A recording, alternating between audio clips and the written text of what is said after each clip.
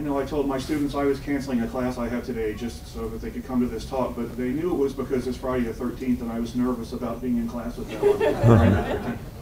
Um, thank you for coming today. Uh, our, our talk is uh, a presentation in the Phi Beta Kappa Visiting Scholars Program. Uh, my name is Doug Norton. I'm Secretary of the Villanova chapter of Phi Beta Kappa. Um, Phi Beta Kappa, if you're not uh, aware of that, is the oldest and probably the most prestigious academic honor society in the United States, founded in 1776, long known for, um, for recognizing um, excellence in the, in the liberal arts and sciences, not so much in public speaking, as you can tell, sorry. thought I had the script ready, and I'm sort of improvising as I go. Well, what you may not be aware of is that it also is a strong advocate in lots of public discourse about the, the value of the liberal arts and sciences uh, in culture, which is taking a little bit of a hit these days. And, what can I get a job with this education for? When we argue that a well-trained liberal arts uh, person is, has the flexibility to find lots of different paths once they walk out this door. Another thing that Phi Beta Kappa does with that dedication to the liberal arts and sciences is tries to tries to bring a special experience of some of the very best thinkers in the country to the campuses. And so the Visiting Scholar Program has been around since 1956. In the years since then, there have been over 600 uh, visiting scholars who've made over 5,000 appearances at colleges and universities across the United States. In each case, the visiting scholar spends a couple of days on campus interacting with the campus community, with the students, and with other constituencies to be able to share some of their uh, intellectual rigor and excitement and uh, adventure of this whole um, intellectual enterprise.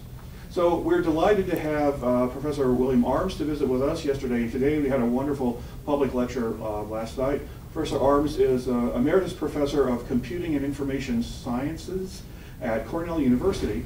And as we learned in his talk yesterday about some of the history of academic computing, was at Dartmouth and Carnegie Mellon when some very key times in the development of computers in general and academic computing in particular took place over the last, uh, last few decades. Very interesting talk yesterday, and I'll take a more specific uh, tack today in talking about uh, academic libraries in the, in the digital age. Um, and of course, as we know, that seems like the sort of science geeky end of the spectrum, but those of you who know and love libraries know that that's a special role for everybody in the academic enterprise, and the, and the digital footprint is everywhere. Uh, from uh, special sessions on, on pulp fiction that we've had uh, at this, uh, at this uh, college, um, to the more technical end of things, um, to the Augustinian archives, the very specialist collections, and those all have the digital implications.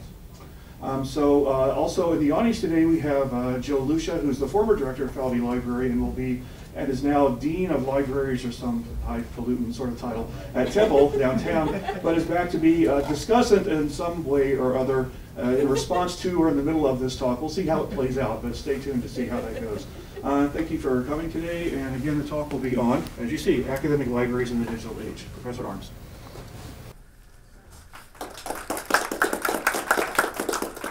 Well, after that very interesting introduction, shall we move straight on to the discussion? Or, this picture here is the new library at Middlebury College in Vermont, where my son actually went to school. Um, to build a new building, expensive building like that in the center of your campus, is a bold undertaking at this time because uh, there's so many changes going on. I gather Temple is taking the same risk. Um, is it going to prove that places like um, Middlebury or, um, or, or, Temple are, are proving wise in putting their resources into these new buildings, or will it turn out to be foolish? Nobody knows the answer to this question. I'm glad they're doing it, but let's at least look at some of the trends and see what the challenges are and how people are responding. First of all, a little bit of nostalgia. Let's go back to the days before computers and um, before we had digital text. This is Balliol College Library where I was an undergraduate several years ago. Um, and and it, you know, it's one of 40 college libraries as part of the Oxford system. Um, noted for its tremendous collection of medieval books, which as a mathematician I didn't make much use of.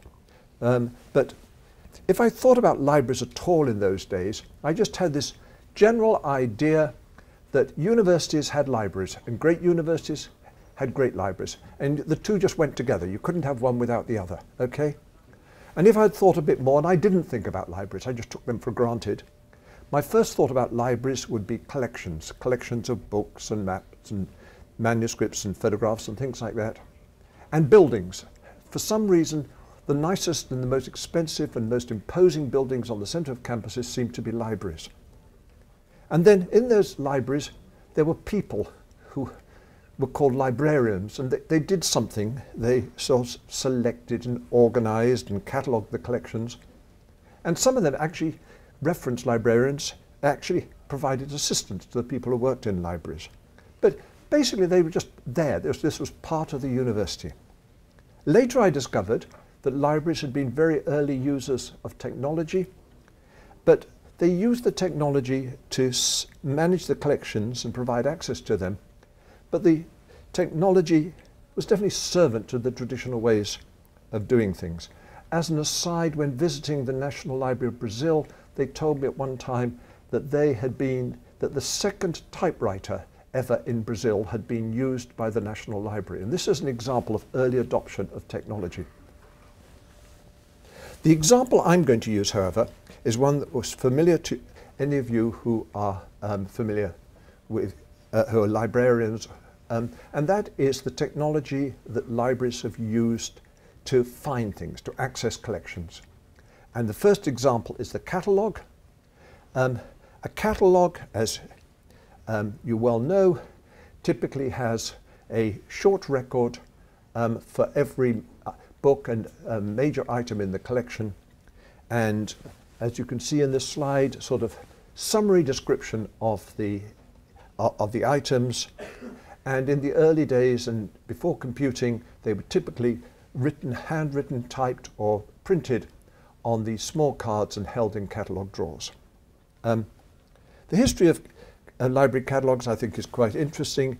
Like so many things, it goes back to the late 19th century. Here, three of the major people, Panizzi the British Museum Library, uh, Cutter um, in Boston, and Dewey, who started at um, Amherst College. And steadily the idea of a catalogue moved from a bibliographic thing to something that was used to find things, and then uh, Dewey and others introduced the ideas of classification. I want to talk about the technology of catalogues. Um, cataloguing is expensive. It's skilled people have got to pick up the item and extract information, metadata about the item and um, make sure that it's the right metadata that is correct and so forth. And very early on, the Library of Congress, the American National Library, um, started a card distribution service. Rather than each library creating their own catalogue records, you could buy the cards from the Library of Congress. Notice the date. And, and 1901 and it required an act of Congress. Okay? If you're distributing these things that many people are going to use, you need standards. The Anglo-American cataloging rules are a wonderful example of a technical standard. I actually use the, um, the AACR um, specification in my software engineering classes as an example of a very well written technical standard. I don't use the 1908 version. I use the, I think I use the 67 version um, some people think it's, they've actually got less clear and precise over the years, but I won't comment on that. Um, in the early days of computing, notice that date, 1965, the Library of Congress, um, led by Henriette Avram, um, started exchanging their catalogue records not by sending out printed records, but by exchanging them on magnetic tape. And they created a format, the MARC format, which was way in advance of the um, formats used by commercial computing at the time. They had some really strange modern ideas. The idea that you could have up and lower case letters, that you could have letters from character sets other than 26 letters of our alphabet. Okay, that, that you could actually have variable length fields. You didn't have to have everything 80 characters long. Um, I'm not joking, these were breakthroughs in the history of computing. Um, shortly afterwards, Fred Kilgour in Ohio um, put up one of the very first um, na nationwide distributed transaction-based systems called OCLC for sharing catalogue records. The basic idea was load all the catalogue records from the Library of Congress and other places, and libraries connected. Um, very early computing technology. OCLC had to invent networks. They didn't have a network. They had to build their own network. They had to build a special terminal, special databases. Um, and finally on this slide, once you've got these records on computer, um, in the early 1980s, people started putting them on local computers. So instead of using those card catalogues, people could access them by computer terminals. The reason I want to stress these things is these were really advanced computing, okay? The library computing community was really ahead um, of other people in managing text and providing access to these materials. The other example I want to use for this and the, is indexing and abstracting. For people like me, for scientists, um, I'm much less interested in the bibliographic information about a, a, a, a book or, or a, other material uh, than content. Medicine, the National Library of Medicine has been a leader, and the typical thing that a medical um, practitioner or researcher wants is they want to know something about a topic. What articles have been published on cardiac arrest or uh, something like that.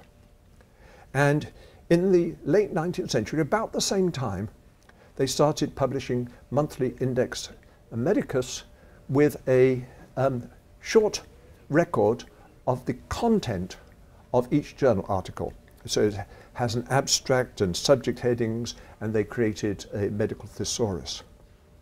In the 1964, um, once again, very early in the history of computing, they moved to producing Index Medicus on magnetic tape. And having the magnetic tape, some bright person, and I don't know who it was, recognized that you could actually search these things. So everybody who had a query would write the query in a complex um, um, format, and once a day they would read all the magnetic tapes and all the queries and print out a list of all the journal articles that matched the query. Um, primitive, but a real breakthrough and very early. Quite soon afterwards, once again, early in the history of computing, they put this um, information online so that remote libraries could reach in and make use of these, do these queries. I skip about 25 years of development to the early days of the web, but very early in the existence of the web, they put, a, put up an online system, PubMed, um, with web-based searching designed not for skilled reference librarians, but for end users. And there's a huge amount of detail left out of this. But the key thing is consistently the National Library of Medicine was right at the forefront of technology. Libraries were, technolo were technical leaders, okay? Now let's skip to the 1990s. I think of the 1990s as a, as a formative period. Um, I, early digital libraries. Um, this, by the way, is a screenshot um, uh, or a collage of the uh, Library of Congress's American Memory Project from about that time. Why this period was important was computing technology and computing costs had reached a stage that one could seriously consider putting large collections of text or digitized images or, or Im scanned images of existing materials online. All the things before then, with a few exceptions, had been metadata, small amounts of text that described the, the, the library items, but the library items were physical artifacts like books and journals and maps and, and so forth. Okay, and so here are the advances in computing, cheap storage, networks, the, inter the internet, and personal computers um, for the users. There was also very important that some general purpose software became available, um, search software and web browsers, so people, um, like libraries, building systems didn't have to do all the user interfaces. And this led to a flurry of research and development um, and new initiatives. And I'm going to divide them into two parts. I'm going to talk a bit about the new directions that libraries and publishers took in the 1990s. And I'm going to talk about things that took place outside the libraries, things that by scientists and scholars and professionals who did, their, who did things in parallel to and differently from the libraries. So first of all, what did the libraries do? First of all, digital collections. There were a couple of very early examples of, of disciplines that got their core literature digitized in, and uh, on, uh, uh, and online. And it's funny enough, they were law and classics. You might say, what do law and classics have in common? Um, well, they actually have something very interesting in common, that their core literature is very small. So um, Lexis, developed by Jerry Rubin, who I had the chance to work with quite a bit in later years, um, um, a lawyer, by the way, a, a new law, a New York lawyer, uh, okay, um, developed and got online large portions of United States law in the early 1970s. Uh, about the same time, the classicists began a program um, to get all of classical Greek online. There's not much classical Greek, okay? And therefore, it's the, the restrictions in computing were not such a burden. Steve Waite at, at Dartmouth was one of the early people there. One of my sins was to cut off his funding at one stage. But, you know, not every decision you make turns out to be a good one. But actually, but he actually managed to get um, the Packard Foundation funded an awful lot of this work. Okay. It, in the 1990s, however, a lot of digitization projects took place. And um, these projects were typically of the form of scanning existing materials. Um, for reasons that I'm sure you, many of you understand, the emphasis was on historic materials that are out of copyright, um, but that's a digression I won't go into. Two early projects were at the University of Michigan and, um, and at Cornell University, the Making of America project. The Cornell work was, by the way, led by Anne Kenney, who is now the Cornell University librarian, and it was the, when she first came into prominence. The American Memory at the Library of Congress um, is perhaps the best known of these projects. My wife has worked at the Library of Congress for a long time. It's a stodgy, slow-moving, badly managed, um, wonderful institution. Uh, its collections are phenomenal, and in a funny sort of plodding way, it's actually covered a lot of ground over the years. More recently, we've seen the mass book digitization projects. They haven't had a full impact yet, for, and copyright is one of the major reasons. But I, I can't help thinking that in the long term, this may be the most important thing that's going on in libraries today. Um, the HathiTrust, um, organized by the University of Michigan, is, is doing grand work in trying to coordinate and make these things available. However, the most important thing that took place in, in the 1990s was with journals, okay? Journals um, went, in a relatively short space of time, that almost all the mainstream journals went from being paper-based, um, coming out in monthly or periodic um, um, bound uh, volumes, to being digitized and online. Now, I, am hesitant to um, show you a website from Elsevier um, Publishing because their business practices and the business practices of some of the other um, uh, commercial publishers are an absolute disgrace. But what they did technically during the 1990s was very impressive. Um, and um, what they and other people did was fundamentally they moved from a paper-based publishing model to a computer-based model. And they also went back and digitized large portions of the old journals. So the new thing is, instead of libraries having journals on shelves, the journals are stored on remote servers. Um, with access over the internet. And the libraries, or individuals in some cases, if you belong to a society like the IEEE, you can subscribe to their journals. And um, it's a subscription to a, a central service model. Um, libraries also have the strange um, role in this of restricting access to the publications um, so that people who, who are not members of, say, Villanova don't have access to them. The important thing about this is that many scientists and scholars do not need to visit the library. I can't remember when last I visited a library to read a journal, okay? In fact, I can't remember when last I visited a library to read anything in the collections. The, essentially, everything I need is available online. And if I, it's not online, I'm more likely to send an email to the author and say, please send it to me, than I am to walk, you know, 100 yards to a library. Um, anyway, so these are some of the things that libraries and publishers did during the 1990s.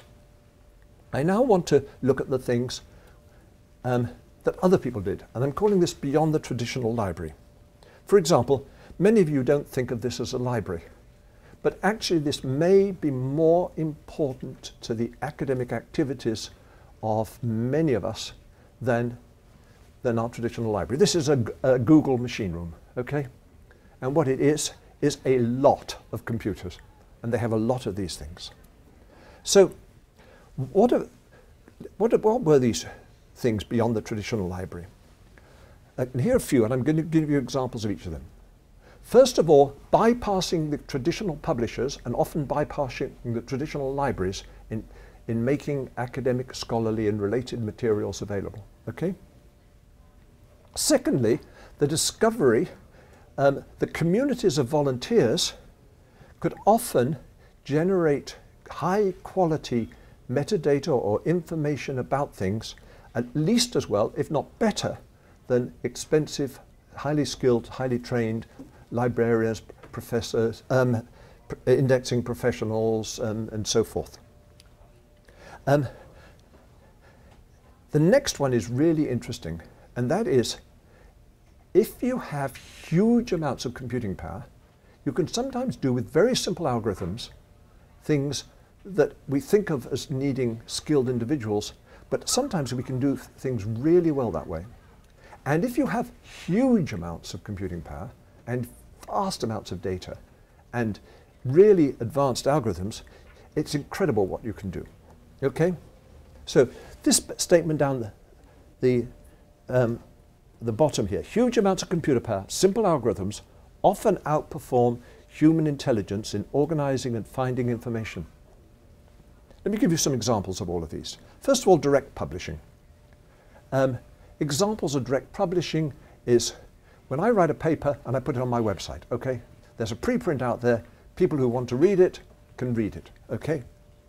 Um, so personal or departmental websites, preprints, all that sort of semi-published literature. A lot of published material is put online. Um, reports, government documents.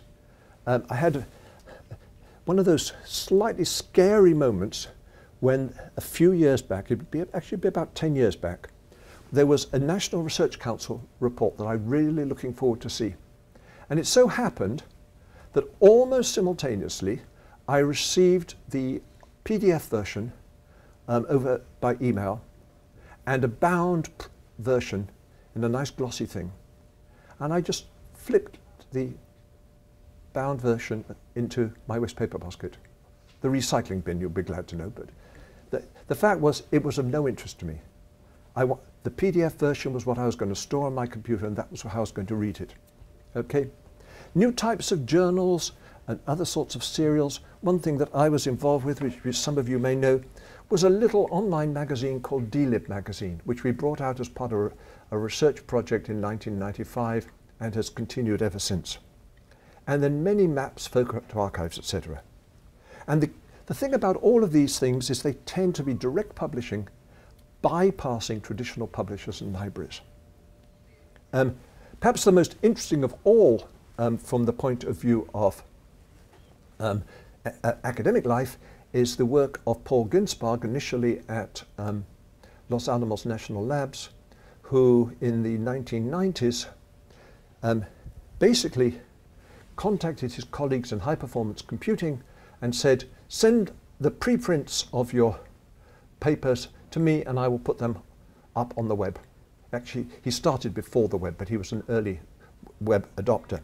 And this has become the standard way to, to, to distribute research um, articles in physics and related disciplines. You send your, your, um, your articles to the arXiv, as it's called, and 4 p.m. every day, they release all the papers for, the, for that discipline. They may, you may then send a message to the American Physical Society or even to Elsevier saying, my article is online and please review it and publish it in your journals. But the working physicists read these things on the website and, um, and discuss them and that sort of stuff. You may notice this says Cornell University Library. Yet this is in part of the talk which is about outside the library, beyond the library. When we recruited Paul to Cornell about a dozen years ago, part of the bargain was that he, the library would continue looking after um, th this, this service. And that's a very important thing. Um, for one thing, they had better graphic designers than he ever was. Um, next thing, communities of volunteers with no formal training. I remember one time um, talking to Paul, it's actually at a party at our house, I think, and I asked him a mathematical question. Paul is a, Paul Ginsparg is a very fine mathematician. The question um, which mathematicians will recognize is what is the difference between a Hilbert space and a Banach space?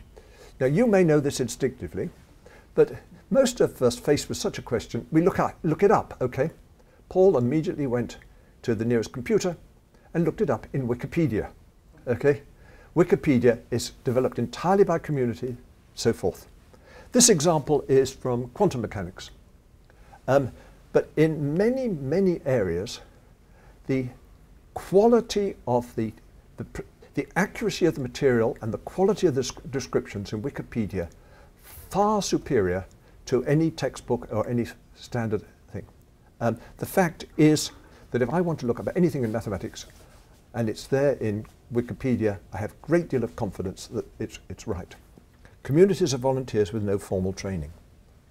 Now let's start off with the first example of using Im immense computing power with sim simple algorithms. Do, do any people recognize this? This is the Wayback Machine, the, the Internet Archive. Um, in 1996, a supercomputing person by the name of Brewster Kahle realized that nobody was archiving the web, okay? And being a supercomputing person, he didn't say, okay, which parts of the web shall we archive? Um, I mean, the natural librarian uh, approach would be you set up a selection committee. You get highly skilled people and they decide which things to collect and which things not to collect. Um, Brewster's attitude is collect the lot, okay? Once a month, collect everything you can find on the web and keep it forever. Um, there is nothing about the Wayback Machine and the Internet Archive which is at all complicated, apart from the scale and doing it at low cost and all those sorts of things. Um, you can work out the date of this photograph by comparing my hair color to my hair color today. But the basic idea is unchanged. Uh, you replaced hand selection with skilled people by just simple algorithms collect the lot. Um, now, immense computing power with advanced algorithms. Um, the, the best example, well, Google is really the, the supreme example of this. Google came out of computer science at Stanford. They're when they went out and hired people, they hired people with PhDs in computer science from Stanford and Berkeley and similar quality things. And the whole, whole model is based on huge amounts of data, huge amounts of computing power, and advanced algorithms. I got two examples here. Um, I'll skip very quickly over the first one, which, but the first one is spelling correction. Um, in the old days, when you wrote a query in a complex Boolean search language, you would put in very complex strings um, explaining whether you wanted plurals or, or um, singular things, whether you wanted the British spelling or the American spelling, and all that sort of stuff. With Google, you type in something badly misspelt, and it gets back a, a, a message say, did you mean this? And it's fantastically accurate. I think you'll all agree, the, the spelling correctors are fantastically accurate. The algorithm that they use, here's the basic algorithm. It's based on Bayes' theory of statistics, and I've spelt it out there. But the real thing is that the, you're asking the question, I typed a word W, okay? Did I actually mean to type a word C? What's the probability that I meant to do that? Here's the probability, and you can estimate those probabilities with surprising accuracy. So long as you have an enormous number of examples of, of word combinations. Google has a test um, um, set of data that anybody can download. It's, it's a trillion words, okay? And that's the sort of scale you've got to work on before these algorithms become good. But when you have that data and huge amounts of computing power, they're fantastically good. I do want to spend a bit of time on searching. Um, that's my second example. Remember, the traditional methods of searching and information retrieval um, in libraries and information in general relied on metadata. Skilled people, skilled librarians, indexing professionals, looking at the individual items and coming up with metadata data about those items um, following um, formalized rules and things. Slow and expensive, but the only way to do it um, at the time. The metadata was then built into indexes, the specialized computer systems used to search the indexes. Because of the complicated way this was done and the complicated search languages, you need skilled librarians in order to formulate the queries. So you develop the whole profession of medical librarians who were skilled at searching um, medlars or legal librarians who were skilled at searching the, um, the, the, legal systems. Um, Jerry Salt, oh, yes, Jerry Salton, initially at Harvard, moved to Cornell about 1968, I think, um, did a whole, created a, a line of research called full text indexing based on a simple concept that the content of a document can be deduced from the words it contains. So if you have the document online, you can look at the words and, and find out what the document's about, okay, automatically. And he used very simple statistical methods based on vector-based theory, and there was, I mean, not only Salton, but other people in various places around the world, um, to compare a query, okay, against um, a document.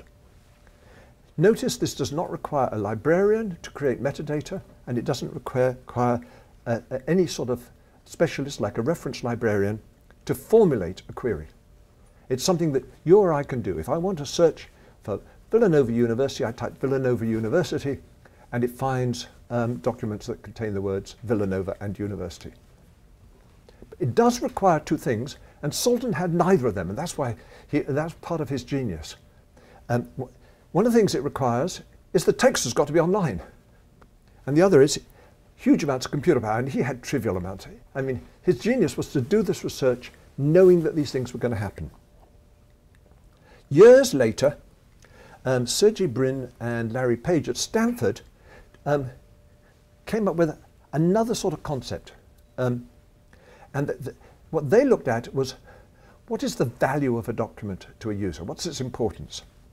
And their general concept was that you can predict the value of a document from its content, the words in it, the context, whether, you know, whether documents refer to it or things like that, uh, its usage history, the, the previous things that the user has done and so forth.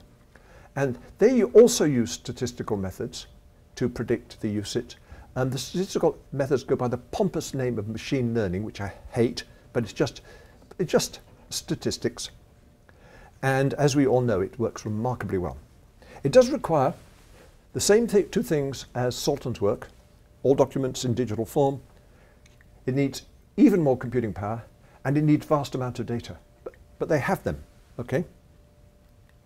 So these are examples of things which are going on outside the um, libraries and publishing during the 1990s. And during that period, a gap opened up, a serious technology gap. Library computing had been in the forefront. It had been ahead of mainstream computing. And during the 1990s, it fell behind. Um, and here are some of the ways it fell behind. Out-of-date standards. MARC had been marvelous in the 60s. By the it was not marvelous in the, you know, Z39.50, Joe and I were talking about Z39.50, uh, a protocol that those of you who know about it know about it, and the rest of you, I won't tell you about it. But the important thing about it was, for its time, it was great, but it was out of date by then. This overemphasis on metadata, I can't stress too much. Metadata is expensive, okay? And unless you can really justify its use, that, that is an expense to be avoided. Um, Boolean searching, for, for some reason, libraries were very reluctant to move towards full text searching um, uh, with the, the complex search languages.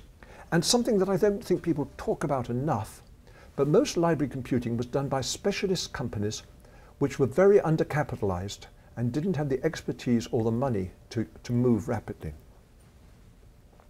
Um, as you see at the bottom here, the theme that runs through all of this is that traditional practices depended upon skilled people, and that made them expensive, and it made them take them a long time to do it. Um, I remember talking to uh, the developer of Lycos, the early search engine, Fuzzy Mauldin, and as he said, he can re-index everything every day, you know, for micro pennies per, per record. And, okay. Finally, um, professional librarians resisted change. Okay? Um, I was quoted in the um, Chronicle of Higher Education about this time as having said in public that librarians behave like a medieval guild. This was one of two times in my um, career that I have generated large amounts of hate ma mail, but I actually think it was is quite a good parallel. Guilds having been enormously strong, effective in their way, but at the same time also by being a bit by being protectionist, um, preventing change and so forth. Okay. So what did libraries and librarians do? The first thing is librarianship. The library schools were clearly out of date. And um, they all reacted differently. Columbia, which had a fine library school, um, took the, the path of least resistance and simply closed down their library school. Um, fortunately, other people were wiser. And I particularly um, congratulate Berkeley and Michigan for taking the lead in realizing that there was enormous opportunities here for a new type of school. And these are loosely called information schools. Um, and also other places create, have created departments. We have a small but um, really, I think, rather good information science department at, uh, at, um, at Cornell. And that sort of things, you know, they're multidisciplinary. Computer science, statistics, economics, law, sociology, um, these sorts of things, really important. New curriculums, new degrees, new research. In particular, in our information science department, we have the, you know, the best artificial intelligence people at Cornell, and the Center of Human Computer Interaction, and a very strong research program in social networks. Um, these sorts of programs have generated new support for research. The National Science Foundation, um, particularly when Michael Lesk was the um, divisional director there, have been very creative and generous in funding some of this research. The Institute of Museum and Library Services. And we shouldn't forget the Andrew W. Mellon Foundation, who, particularly their program officer, Don Waters, who have been the consistent supporters of the humanities. And new careers for graduates. Um, you know, one of our early uh, Cornell uh, graduates is now the engineering director of Facebook, for example. Um, which you may not think of Facebook as a digital library, but or a library, but these are things are interwoven. So, so much for librarianship lib and the education of the next generation. And what about libraries? Okay, a new library on an old foundation. Um, I like this picture. It's actually the Arlington Public Library. What it shows is refurbishing, okay? Not getting rid, not tearing down, but building on the old foundation. Libraries, I, I would say that libraries are searching for a new identity, and I would say this search is continuing. And it's not clear, I don't think it's clear, certainly I, I can't see what that new identity is going to be. Um, libraries start off with some really great strengths. First of all, although I've made some criticism of the blind alley that library schools have got into at one stage, the quality of people and the dedication of the staff is a very important asset. The buildings are a tremendous resource. Libraries in some ways respect uh, academic traditions as much as any group at universities. In a funny way, libraries look about the university and its, and its academic traditions um, very broadly. They have a tradition of cooperation with other universities. Sometimes they, it's not as much cooperation as talking to other universities, but they, uh, they have a substantial budget and substantial endowment. And the senior faculty, in fact, the faculty in general, tend to value libraries. Um, so th the theme of what's been going on, I would say, in the last 15 years, is searching for new identities, searching for new ways to use these strengths. And I'm going to go quickly through some examples and then ask the question, where has this got us to? First of all, um, after being resistant to the new technology, um, libraries have embraced it quite a bit. Uh, I use my stodgy Library of Congress as an example. Here is an early website from the Library of Congress. This is a screen dump from a talk I gave in 1995, so that gives you an idea of the, of the date. An early website, even in 1995, they had significant resources online. Um, um, this community of volunteers, um, the, the, the, thing that, that, they can do, the Prints and Photographs Division, which at the Library of Congress has traditionally been the division that has taken the lead in technical things, um, have been putting up thousands of photographs for which they don't have detailed information on Flickr um, and saying to, to the community, tell us more about these, these photographs. So here we have um, a photograph from the Bain Historical Collection, okay? And here we have a comment from a random user. This random user is actually my wife, but that's beside the point. Um, and um, carefully researched um, information about the photograph. And so th this big collection of photographs is now building up a tremendous um, knowledge base associated with it, of which the library has, has moderated the comments, but the, the real work has been done by communities. Next things libraries have been doing, they've been finding new, new uses for the library buildings. When I was at Dartmouth, this corridor was full of huge, great wooden uh, cabinets containing the card catalogue. Now it's used, can you imagine a nicer place to study, okay? Just off the main library uh, things. I think every student in that picture has a computer. Yeah. But this is the new use for the library. And libraries are, are bringing in other parts of the, uh, of the university into their buildings. So they're running study rooms, computer laboratories, language labs, and some of the best coffee bars in universities can be found in libraries these days. And I think I go to the library at Cornell to drink coffee more than any other single reason, but at least it gets me into the building. Libraries have also been doing a lot of work as publishers. Um, in particular, um, coordinating the semi-published, informally distributed materials of their own institutions. And the, th the buzzword there is institutional repositories. They've been exposing the digital holdings. They have been digitizing um, materials and making them available. Um, and they've more and more got involved with collecting, preserving and distributing research data, which is a major theme. Um, th th some of them have been involved with creating open access journals, monographs, data sets and so forth. But generally, managing this semi-published informal um, information distribution on behalf of their university. I think this, in the long term, I think this is a really important function that universities need. Um, here, for example, is the institutional repository as uh, uh, uh, at Cornell. Most universities, uh, certainly the larger universities, have repositories like this. Um, here is a project, a very important project by David Rosenthal and Vicky Reich at um, Stanford University for preserving um, digital data. Um, David, by the way, is an absolutely brilliant computer scientist. Um, and Vicky is a, is a traditionally tra trained librarian. They also happen to be married to each other, which leads to a good partnership. This one example actually about research data is not a library example. It's the um, Inter-University Consortium for Political and Social Science Research at the University of Michigan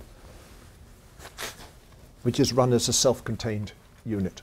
Um, but it's an example of the sort of things that many uh, libraries are now doing. The next thing is we've seen a swing, it's almost a 100-year cycle, certainly a 50 or 60-year cycle, from librarians as scholars who work with the academics to professional librarians who are rather um, separate from the academic side to librarians working with the, the, um, the uh, academics again. Digital humanities and digital scholarship, very important new fields. Here's just one example out of many. This is a Cornell example. The reason I'm showing it is because um, it's a partnership between a couple of history professors, um, uh, three librarians, with a software written by students in my software engineering course, and that's why I happen to do it. The, the, the collection is a collection of, uh, of several thousand um, newspaper articles uh, for people trying to track runaway slaves. And by, by reading this data using optical character recognition, organizing it in a structured database, they're getting all sorts of interesting um, insights into um, that period of American history. Um, I think every university can show similar examples. So the fact I use Cornell examples is just, is just personal. Hmm. Um, e-science um, is um, the scientific equivalent, data-driven research. I think the slightly, if there is a difference between these and the digital humanities, is I think more of these projects are discipline-based and inter-university based. The astronomers um, have been particular leaders in this area. and this is the Sloan Digital Sky Survey. Um, Johns Hopkins University has been particularly involved with this. But most of these projects are partnerships between the academics, in this case astronomers, and library professionals. Finally, and I think this is really important, libraries have grown to accept that it's permitted to experiment. There used to be this feeling if a library bought out a service, they were committed to maintaining that service forever. Now there's this feeling, we'll put up a service, we'll try to make a good service, but if it doesn't catch on, we'll modify it or even take it down. And I think that experiment, for example, this is something on the semantic web. I am not a fan of the semantic web, but I am an enthusiast for, the, for people experimenting with it, and if they prove me wrong, fantastic, okay? So, th this is some, some examples of how libraries have been searching for identity and some of the good things going on. I now want very quickly to um, talk about academic libraries today. Okay, um, this is another Dartmouth picture. I love this picture. It's the English library at Dartmouth. When I was at Dartmouth, I used to go there at four o'clock in the afternoon because it was the only place on campus you could get a really good cup of tea. Okay, they, I hope they still serve tea in a large ornate um, urn and that sort of stuff. Here you have, in the middle, you have two people, presumably students, sitting down at a table with books and papers in front of them. Okay? But look at this character over in the corner, okay? Over here. Uh, he's sitting there with his computer on his lap. He looks totally at home, okay? The library is his place of work. He's as much at home in this library as this fellow here with his paper and pencil and things like that. And I think that's really important. So what are libraries doing today? First of all, we mustn't forget the traditional role, okay? The traditional collections, the books, the older materials are really, really important in some disciplines. I couldn't resist the temptation to bring another example from, from my Oxford College. This is a um, 13th century uh, Boethius's um, theory of music. For any of you who ever get complaints that textbooks are out of date, this was written sometime around the 6th century and was a, a set book at Oxford well into the 19th century. Uh, but Oxford is traditionally the home of lost causes, okay? Um, so humanities and some social sciences, the traditional library is just as important as it ever was. Um, and most disciplines have an historical aspect to them for which the traditional collections are really important. In fact, it's interesting that every library, big or small, that I've ever been in, you know, just a little village library, will have its own special collection. It may be quite small, but those special collections are very important. On the other hand, having stressed the importance of the tra traditional libraries, it has to be said that in many disciplines, my own discipline is one of them, the traditional library is essentially not part of our academic world. Okay?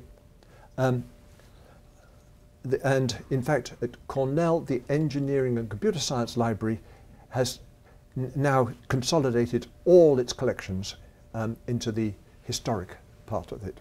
Um, and then law and other professions, law is a good example. The working um, um, law lawyer, law, law scholar has everything online. From time to time, you see discussions about do law schools need libraries? And I honestly believe the answer is that they don't need traditional libraries, although the American Bar Association refuses to give accreditation to a law school that doesn't have a traditional library. Um, and there are lots of disciplines that are hybrids, okay? Partly um, they use the traditional, partly they use the new. Um, everybody, whether they're humanities people or um, whatever, make use of a lot of these non-traditional services. Um, I, know, I, I, put Amazon there with a tongue in the cheek. Quite a lot of my early work was involved with interlibrary lending. Um, nowadays, if I want something that's not easily available from the library, I just buy it, okay? From Barnes & Noble or Amazon. It, that's my replacement for, for interlibrary lending. Open access collections and discipline resources, okay? An interesting observation, and this worries me a lot, is in general the disciplines that need the traditional library least are the rich disciplines. Law and medicine, physical sciences, engineering and so forth. It worries me that the people who need the traditional library most tend to be the less well-funded disciplines, which in many universities have less power in the budget process. And if I get concerned about the, the future of libraries, it's because I'm concerned about budgets. Um, you know, I had an interesting discussion last night over dinner with the Dean of Arts and Sciences here about how decision, budgeting decisions are made at Villanova. And I won't comment about Villanova. Um, having been on budget committees at several universities, for, in fact, for, I sat on budget committees for 17 years, my basic belief is that a small number of people, typically pro provost, dean, financial vice president, president, make the fundamental budget decisions, but they respond to pressures, and they respond to pressures from the departments, from the academic disciplines, and so forth. In the past, there was an overwhelming consensus that the library mattered and the library budget had to be protected. I worry that in the future, and universities are under tremendous financial pressures, the leaders of the different disciplines may say, we don't really need to fund the library quite as much. Um, and that worries me a lot. Okay. Um, however, there are reasons for hope. And here are some of them. Um, libraries represent the liberal arts tradition in, in, in, universities, and that's why I'm really glad this is a Phi Beta Kappa talk, because Phi Beta Kappa represents the liberal arts tradition. There is enormous support for libraries in academia, often from quite unexpected sources. Donors have always been very willing, and society in general supports library. In going through this talk, I've been noting, I happen, every, everybody I've mentioned by name apart from the three 19th century librarians and Sergey Brin at, um, at um, Stanford, everybody else is somebody I've known quite well during their career, okay? And I think it's fair to say that without exception, although those people, all of them technologists, all of them, um, you know, most, many, most of them computer scientists and so forth, but they've all been enthusiasts about, about libraries.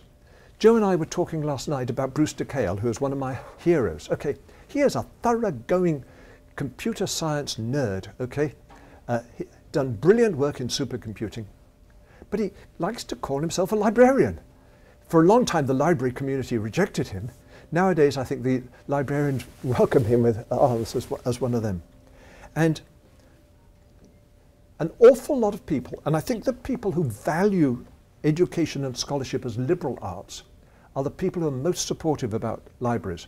And that's why on my optimistic days, and not every day is an optimistic day, but on most days, I think Middlebury probably made a very good and decision to build this new building right in the centre of their campus and to use their scarce resources for um, creating a new library. So that's the end of my talk. Um, I believe Joe is now going to make some comments and then we'll have a discussion.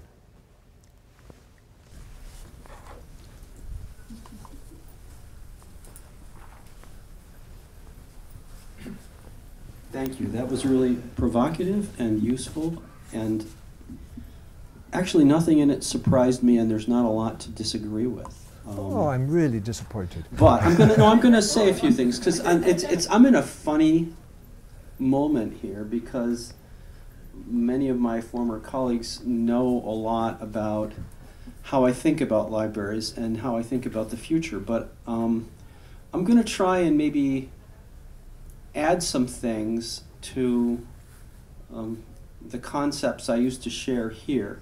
Um, because my thinking continues to evolve and grow and be informed by um, experiences as my career um, evolves, uh, you know, in a new institution. And um, th though there's not a lot to take issue with in terms of the um, the arc of historical development that Bill described, I think there are actually some different perspectives on things going on quietly in the world of libraries that ultimately might point to a different trajectory and a different um, uh, concluding point. I'll, I'll say this that I have gone through, and everyone I know professionally who's been involved in libraries um, I've gone through waves of tremendous optimism and waves of tremendous anxiety about the future because it's not clear um, where we're going to land. And I think one of your opening comments expressed that. Um, increasingly, though, I have a hunch that there is a profound durability to the social institution of the library that is independent of physical media. And I and I believe and yet I believe that physical collections continue to matter. And I, have come to this conclusion um, partly through a year and a half of work with internationally prominent architects who have built some of the most interesting new library buildings in the world in the last decade. And um, one of the things we've talked about a lot is what were libraries in the classical world? And you go back and look at the architecture of the original classical world library complexes, and you see that they had repositories that held stuff, but the repositories were situated around a courtyard with a temple on one side, and they were social gathering places for interaction in the formation of intellectual and creative communities. And I would argue that um, however libraries carry out their mission in the evolving information environment, um, there's a profound human hunger for community construction. And it's not just virtual community construction, it's community construction in face-to-face settings. Now, like metadata, face-to-face settings are very expensive. But I, I would argue that to the degree that libraries as physical enterprises are in peril, universities themselves as physical communities are in peril. So to me, the library is in some ways a canary in the coal mine. Because if we believe it's worth the cost of face-to-face community, in various forms, then we will continue to figure out how to make the investments in those goods that to serve to, to nurture, sustain, um, and enhance our sense of, of connectedness to each other in the various domains where we work.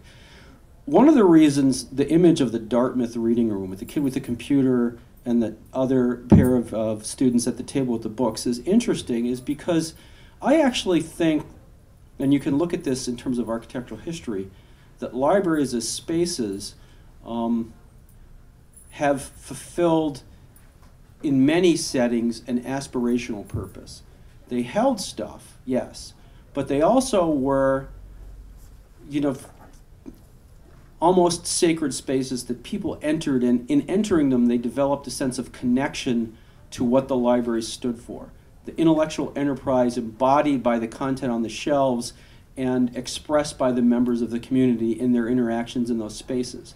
So I think that remains a profoundly powerful center of gravity that we have maybe a limited period of time to leverage. I, I do think we have a, a time challenge around how we redefine our mission so that we remain powerful presences. So that's one piece of it.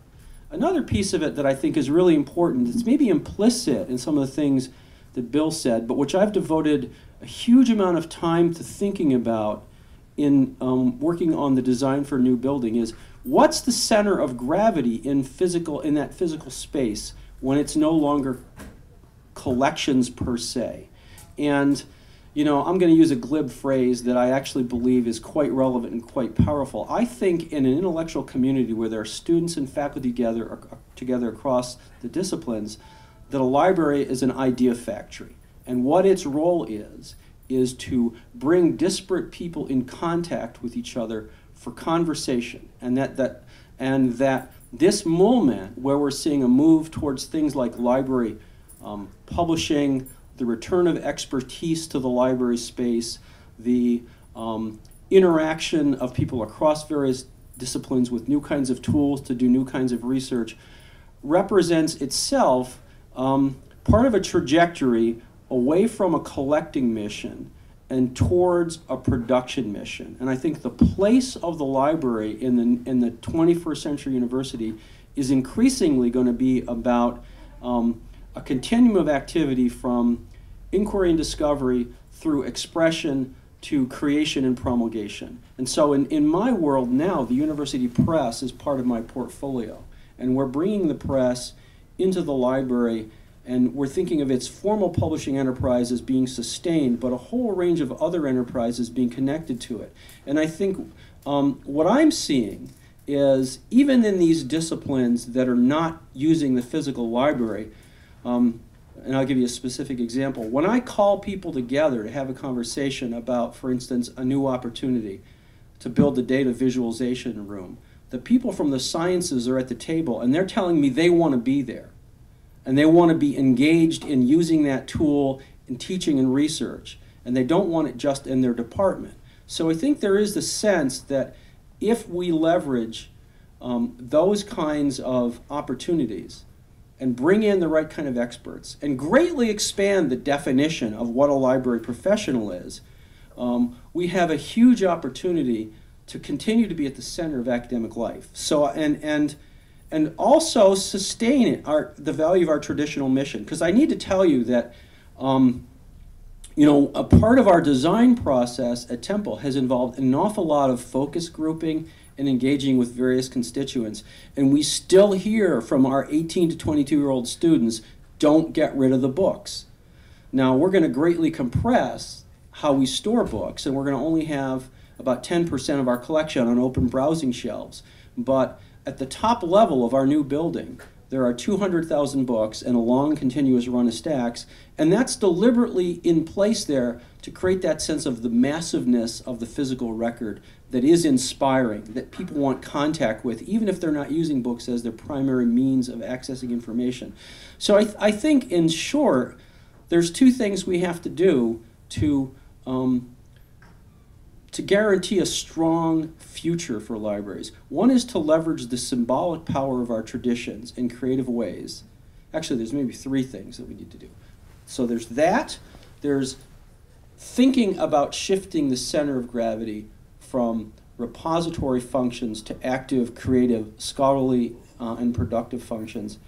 And then we need to, the third thing is that we need to be very coherent and articulate about telling this story so people understand where we're going and why we're going there. Because um, when people hear this story, they get very excited about what the new library can be. Um, so that's kind of my frame around it. There are another there's another cluster of issues that I think is worth talking about. Um, regarding social function, and, and this is where you'll be familiar with some of my thinking about this, which is that all of these enterprises, Google and Facebook, are corporate entities with very short histories. They don't have a commitment to historical duration, and they don't have an intrinsic commitment to the public good. Now, the concept of the public good is continuously under fire in our social and economic, economic world. But the library as an enterprise needs to stand on a foundation of the public interest over the long haul and what I've often called the intellectual commons. Keeping the commons open, defining the commons, and making sure that it has um, a, a protected interest. And I do think there are things that are going on in the broad community of libraries um, represents an implicit commitment to that. HathiTrust is one example. Um, this emerging national um, digital preservation network, DPN, I think is a really interesting enterprise that shows um, so a lot of creative energy and investment around how are we going to make the digital record durable across cultural memory organizations. Another thing I think is profoundly important, it's kind of a butterfly effect, but I'm starting to see it really get some legs, even though it's small, is the Digital Public Library of America. Um, there's interesting things going on with the thinking about technology infrastructure there, um, the commitment to society. I think some very powerful tools built around work that's come from the university library community, like um, the extension of the Fedora repository model using um, uh, a new protocol, or not so new now, but uh, called Hydra to build services on top of that collectively that begin to leverage the collective capacity of our technical community to do some very interesting things. So I'm actually quite optimistic about the potential for li libraries to, to, to do new things again with technology in these spaces that are emerging as long as we can protect the basic economic underpinnings that allow us to have the flexibility to do that. Um, because I, I, think one of the interesting, interesting things about the DPLA is this very molecular architecture, very lightweight central organization, distributing engagement out into the community and creating a context for, for collective action that does not require large scale, heavyweight in investment in any one place. I do think where we've failed in general is that we have not, we've spoken a lot about it, but we have not engaged in rich, broad collective action in the library community. And I think we need to be a lot more intentional and engaged in doing things together. Because I don't think the future can be about the Villanova Library versus the Temple Library versus the Penn Library. We need to, to think collectively about our collections, collectively about our technology, and even collectively about our expertise. Um, and, and you know, tr treat our community uh, broadly across the domain of libraries as the key asset we can leverage because, because places like Google, for instance, have huge resource pools and talent pools. None of us are going to have those in our individual environments. But when we bring those things together across the environment, there's actually a lot of talent and a lot of energy, and, and we need to figure out how to make that work um, towards common goals rather than always be in our local environments inventing things um, on their own on a one-off basis. So those are my quick thoughts. Um, uh, I don't know to what degree they, they allay the anxieties about the future, but I, am actually in a, in a, moment of, of very guarded, um, always guarded, but real optimism about what's what's possible. And maybe that's partly because I'm involved now in a building project and I see an institution really invested in the possibilities that building represents. Because, you know, you always get this question, well, why are you building, you know, what amounts to a $200 million um, structure? And it's because we think that there's a future need that's very real, but that's very different. And the spaces are different. Um, the way we were thinking about staffing that building, the functions that are in the building are different, but they're still recognizably library functions. So, any questions for either one of us, or for us to?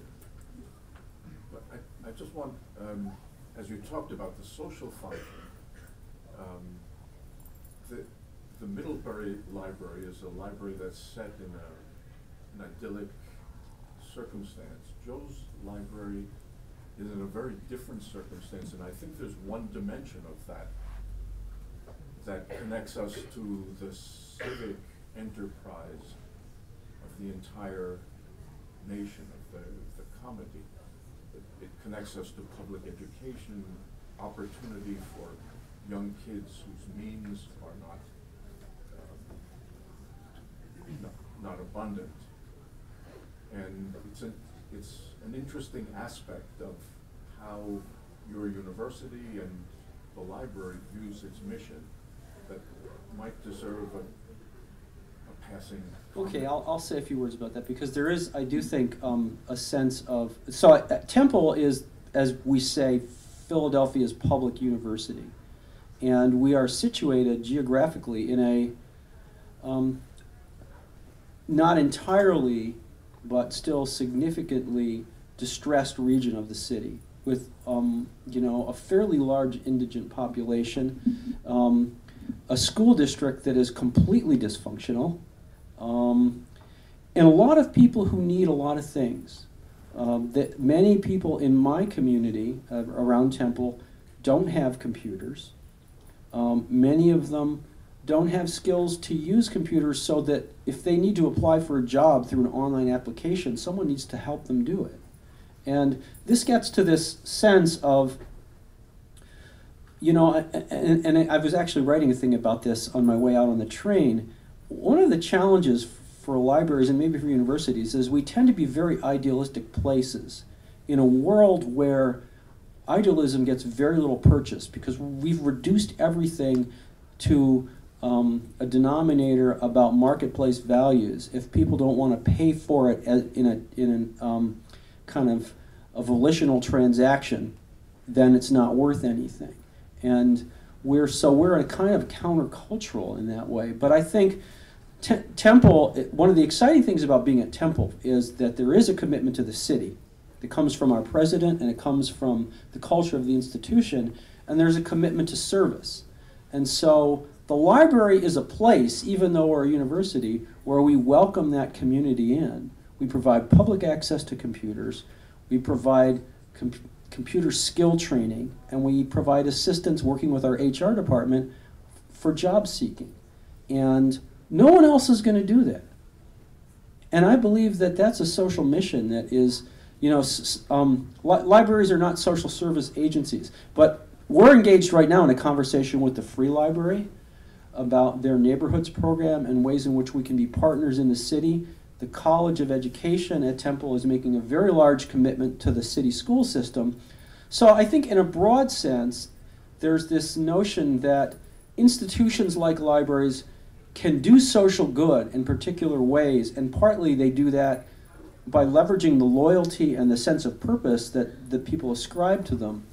Um, but it's hard.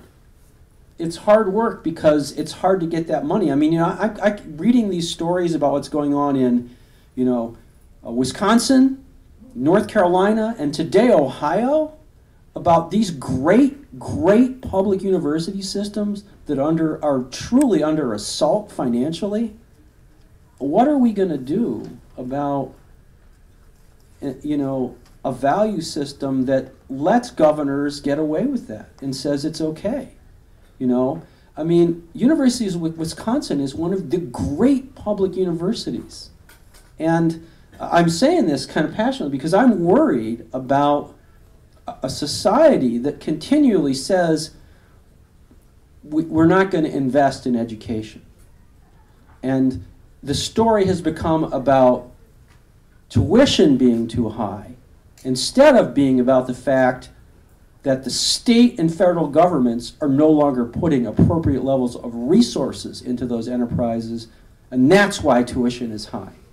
And it, it's a crazy situation. And so all of us, in some ways, are under assault. You know, in New Jersey, they did a really interesting thing with public libraries.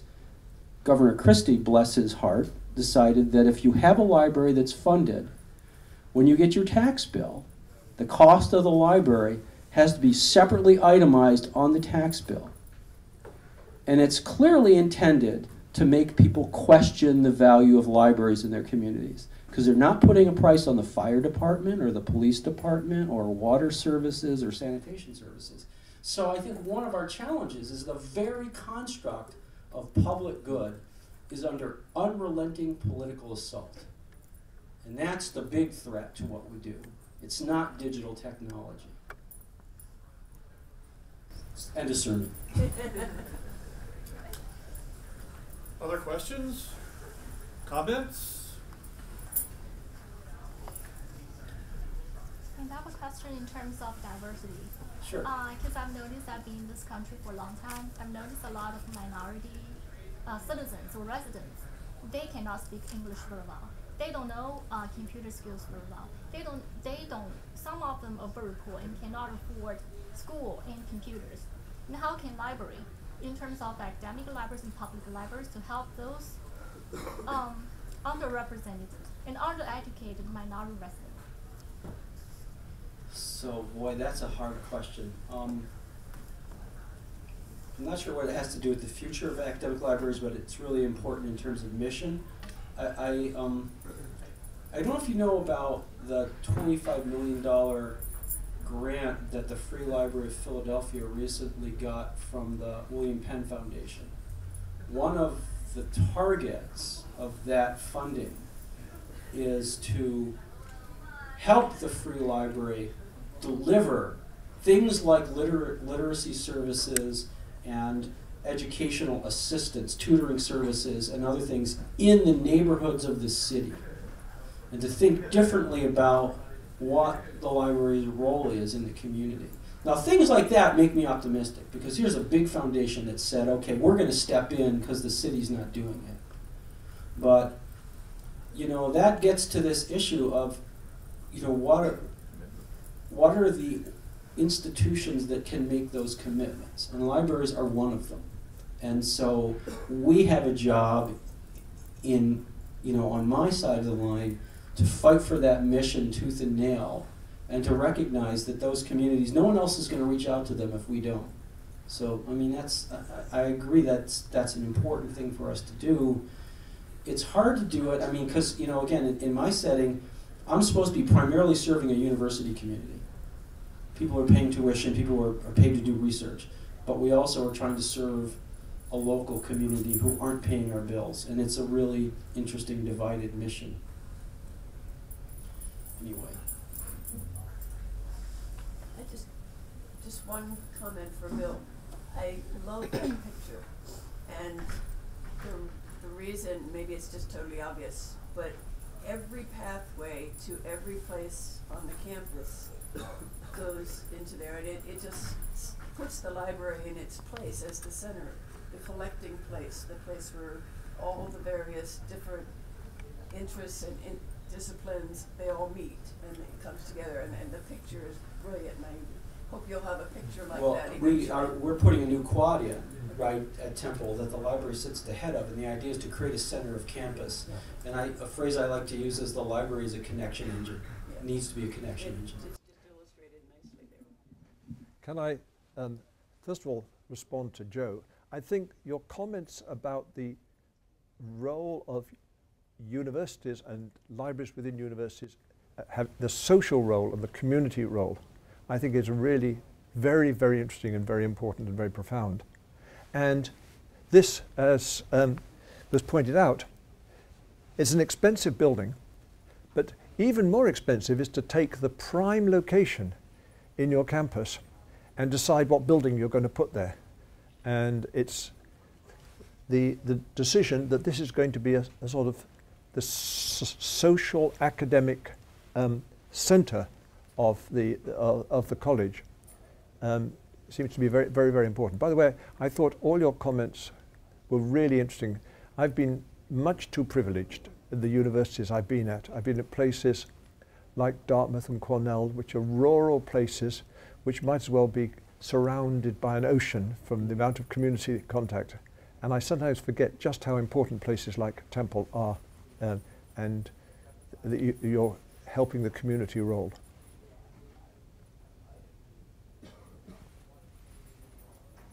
Other comments, questions? Uh, another. Yes, just a brief comment. Um, I agree graduated last year from the University of Rochester, and they're going through a process of trying to figure out the future role of their library. Mhm. So what they did was they did a series of forums throughout my senior year uh, where they asked a student, I was on the committee, to redesign the library architecture in collaboration with the architects. And what it became pretty clear pretty quickly was while students agreed that there should be, like, the special collections and archives should stay, there was less importance on retaining physical collections of traditional books and more on creating areas for knowledge production, um, new laboratories, new business, business Hmm. incubator, I think. Now, these things are gonna be phased in over fifteen years because the money's not all there readily. But the, it's been very interesting to see how the plans are going over. I've been of the opinion that as a history major, it's better to be in the conversation, shaping how this is preserved. But it's been interesting to see some of the faculty at my undergrad, they're just getting hung up on the, on keeping books and the quantity of books. And I, I say, yes, it is important that we have the books, but if you're just focusing on that, you're missing the point of keeping the entire hmm. institution relevant. And to do that, it's gonna have to be a knowledge factory and not just a warehouse. I'll comment on that comment.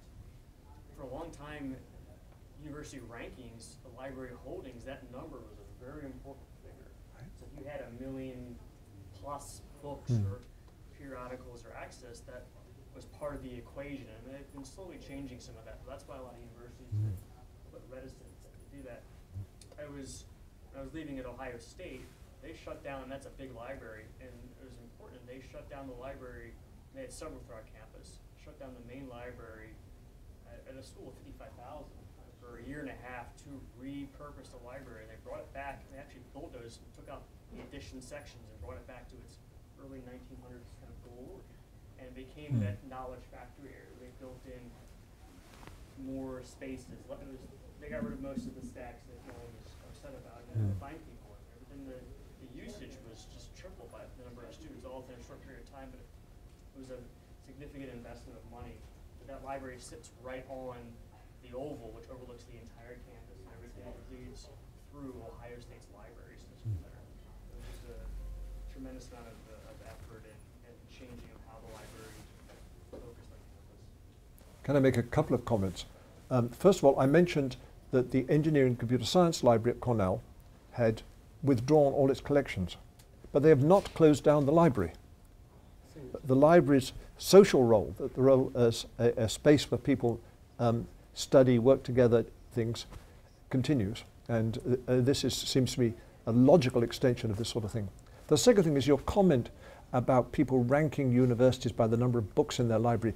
And this is why I say last night, sometimes I get frustrated by librarians. I'm a great fan of our university librarian, Anne Kenney at Cornell. But if you go on the website for the, li- the libraries, each of the, the branch libraries has a page with a summary description. And you go to, say, the music library. It says the music library has so many books, so many things like that. If you go to the engineering and computer science library, it says the collections are online. Which is almost apologizing for not having a large number they can put up there of saying what out of date materials they have. I, anyway, that's, that's the point you're making. And I, have, I don't want to go on with my hobby horses. Yes? I have another thought. I thought like artificial intelligence cannot replace like human intelligence. And I think like those written communication on digital library cannot replace oral communication, face-to-face communication. And I think the library, actually physical library will exist as well as the virtual library. Because physical library were used as like a social place as you mentioned. And I think the physical library should be all in one. It has information common set inside, um, and archive set inside, and as well as keeping all those traditional collections. And I think like Google and Facebook, those commercial bureau cannot replace libraries. It's impossible. And so in my opinion, like, like face-to-face communication uh, and oral communication, oral messages cannot just totally replaced by those machine-generated uh, papers, academic papers or communications. That's why we still need like the live teachers and professors to teach class. Otherwise, you know, students can just watch videos, read papers, they can self-study.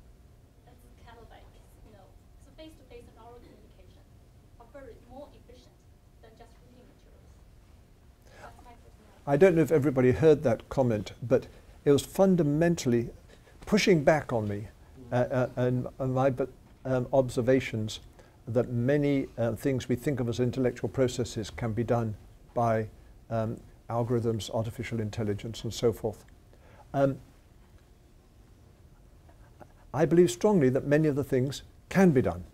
And I also believe strongly that we're in a period of transition and we haven't reckoned, we haven't reckoned, recognized yet which things will end up being well done by technology. And searching and information retrieval is, to me, an obvious example. Um, I believe that we naturally have a lag, that we uh, always overemphasize the importance and value of our human um, things and only over time grow to recognize that there are sometimes alternative ways to do it. But I don't know what that trade off is, and I don't know where that trade off is going to end, and I certainly am not going to claim um, that um, the social, human, um, instinctive things are going to be totally displaced. What I do think is we should not use our expensive um, people on the tasks that we, that we can do better with technology. So I'm, I'm pushing back on you, but I am also agreeing with you, if you still have it.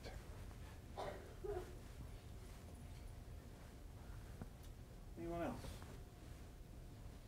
Well, it falls to me to say some thank yous here at the end. Um, one thing I will mention in these final comments about this uh, sort of center of campus thing is that one of many quotes I, I admire in uh, the faith with which this institution is uh, historically connected is the line, where where your treasure is, there will your heart be also. And I think the flip of that is if your heart is in this, then that's where you should put some of your treasure. It's expensive to do buildings like that. It's expensive to do that where they're doing them. But whether, as, as Joe mentioned, uh, the library is the, the miner's canary, or as we're getting feeling from, from Bill, as the microcosm of the way the university heads into the future.